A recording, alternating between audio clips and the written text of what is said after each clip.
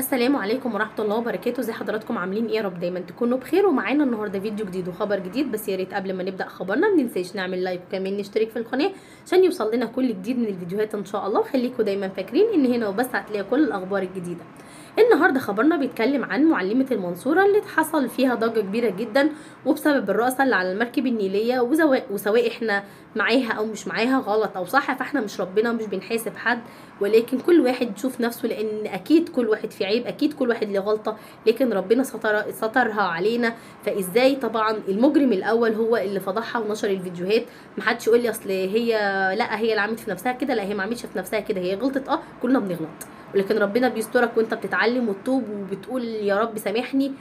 اللي اللي عملت يعني اللي عمل اللي عملت فيها كده أكيد هي واحدة صاحبتها يعني من من أصحابها.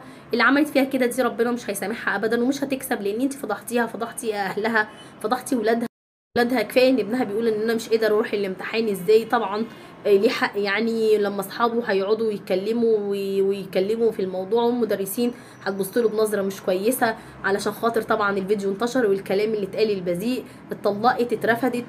ليه كل ده؟ محدش عارف السبب إيه حتى لو كانت غلطانة فربنا هو اللي بيحاسب ما إحناش اللي بنحاسب.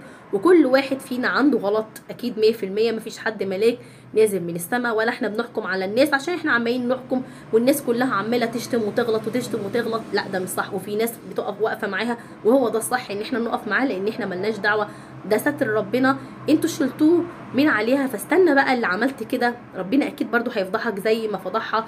و... ودلوقتي حصل إن في حد من حقوق المرأة اتكلم و...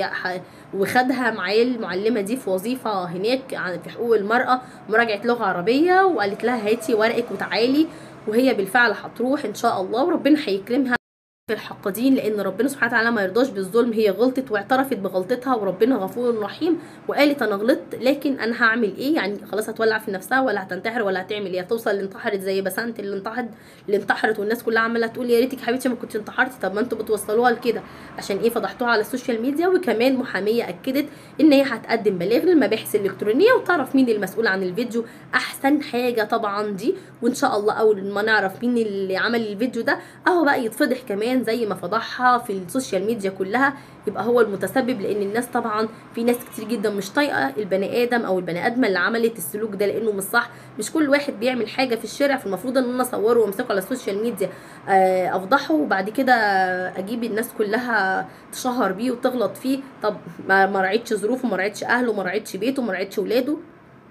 حسبي الله ونعم الوكيل في اللي عمل كده وأكيد ربنا سبحانه وتعالى بيعمل من كل محنة منحة جديدة. ده بدل البني آدم بيعترف بغلطه بيعترف إن هو مخطئ. ربنا سبحانه وتعالى غفور رحيم كريم جدا جدا جدا.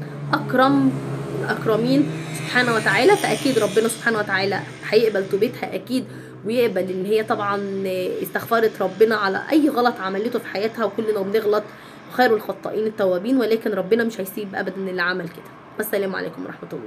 اللي عمل كده ده بني آدم أو بني آدم ما عندوش أي ضمير ولا رحمة خالص في قلبه ولا ذرة رحمة دمر بيتها تسبب في طلاقها وتسبب في بهدلة أولادها.